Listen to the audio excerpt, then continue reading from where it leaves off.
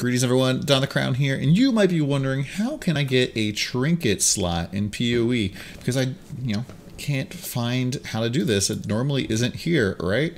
Well, if you look at the very bottom of the text here, you say you must find the sculpture The Catch in a smuggler's den or underbelly blueprint to be able to equip this.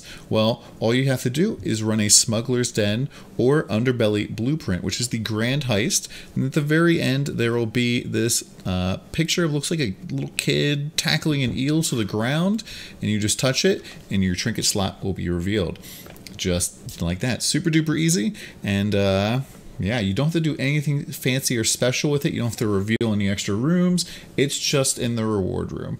Uh, hope that helps.